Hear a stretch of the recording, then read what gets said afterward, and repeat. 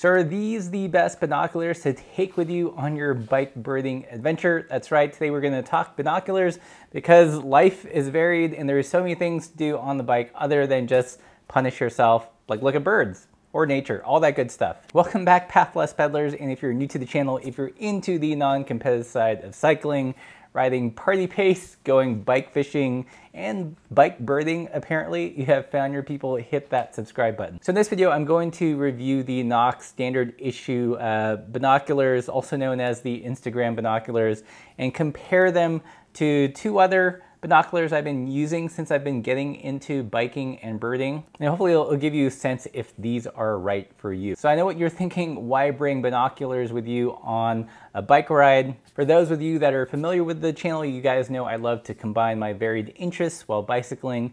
So initially I was interested in using the NOCS mostly for creating art. But during my first outing with these binoculars, uh, when we went to ride the Trail of the Coeur d'Alenes a couple weeks ago, I found them just super fun. I used them to spot some fish, to look at birds, which then got me curious as to what those specific birds were. And so that totally started me on this whole trajectory of slowly getting into birding and since then I have purchased other binoculars. This pair of NOCS, again for complete transparency, was sent to me to review.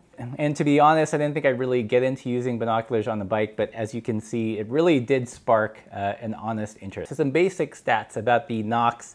Uh, these retail at $89. The magnification is eight times magnification and the objective lens is 25. So that's why it says 8 by 25. In comparison, these Vortex uh, Diamondbacks are 8 by 42, so similar magnification at 8 times, but they do have a larger objective lens, so hence the larger number. And these Nikons are 8 by 30. So all the same magnification, but the objective lens differs, and how that affects the image is that the larger the objective lens, the brighter the image, because more light is transmitted to your pupils. The NOCS are also waterproof, just like these two other binoculars. They're also air purged with nitrogen gas, and this prevents any kind of condensation and fogging up. So similar to these two more expensive binoculars. These weigh in at a fairly svelte 12 ounces for small binos like this. In comparison, this pair weighs about 20 ounces and this one is 15 ounces.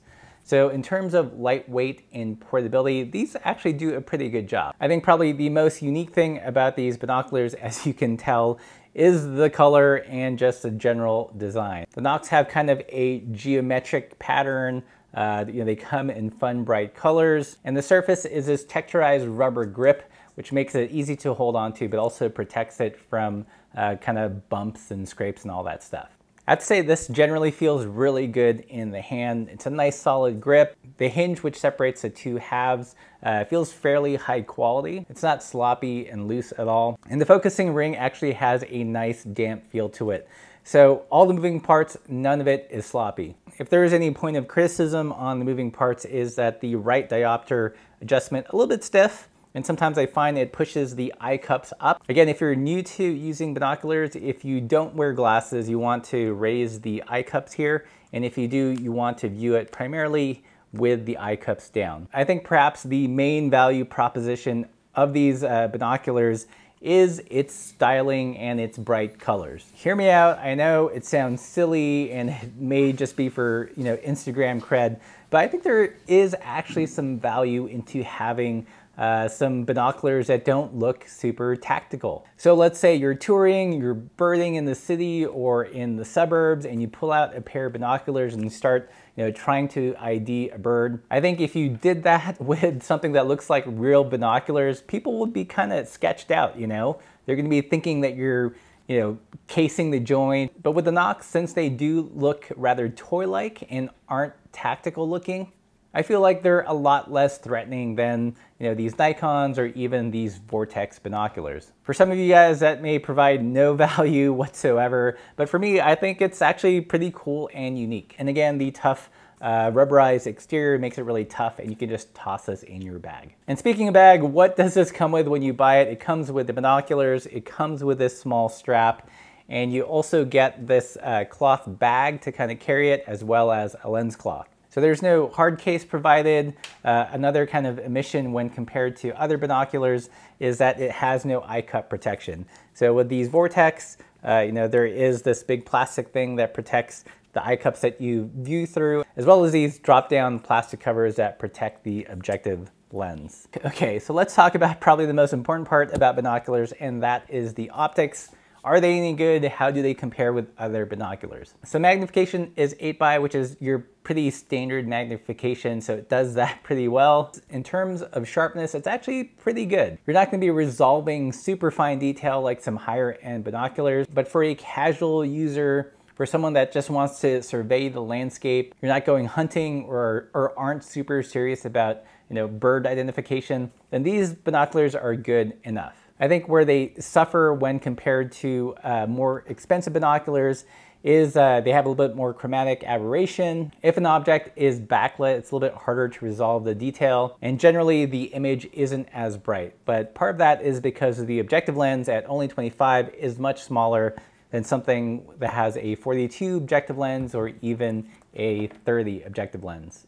I think two other cons optically uh, when compared to other binoculars is the field of view is actually pretty narrow. So for example, while these have similar magnification, you just see more around the image with both the Vortex and these Nikons. So these two have a field of view of about 8 degrees and uh, they don't list the field of view of these, but my guess would be it's, it's around 7 degrees. So a little bit on the narrow side, uh, not a big deal if you're just looking at the scenery but if you are trying to find a, bird in a thicket, it's a little bit tough because you don't see much of the surrounding image. Another downside is the close focus. It's actually pretty far away. You can't really focus on something unless it's uh, at least 13 feet uh, far away from you. So it's a bit of a bummer if you do get lucky and the bird lands nearby and you're, and you're, trying to glass it and you can't really get, get it in focus unless it's at least 13, 15 feet away from you. Not an issue, again, if you're gonna be using it to just survey the scenery, but you know, if you're a bird nerd, that might be a problem.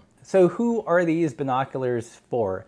I think if you're a casual user and are traveling, then these are definitely for you. Or even if you have nicer binoculars and just want like a everyday carry, a beater pair, if you will, that you can just toss in your bag without worrying too much about it because they're not super precious, then these are also for you. But probably not the best if you're a super picky bird nerd and need something that resolves fine details and colors in really challenging situations, then you should probably look elsewhere. At $89, it is not dirt cheap, but in the world of binoculars, it's actually fairly affordable. Just to give you a sense of price range, there are high-end binoculars like Swaros, which cost anywhere between 1,000 to $2,000 for the same magnification. Or there's something like this. These are the Vortex uh, Diamondback, something you can pick up at your, your, local REI, and these are about 220. So if you're new to the world of binoculars, again, these may seem a little bit pricey, but uh, you know the, there's a wide range of, of cost and quality.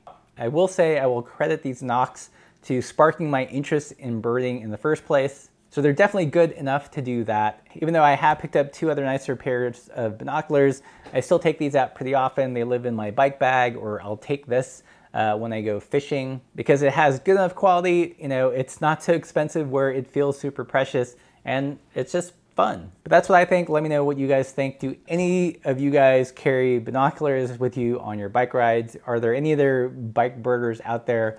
Let me know. And I promise the next review will be something bike related. But as always, keep the supple side down.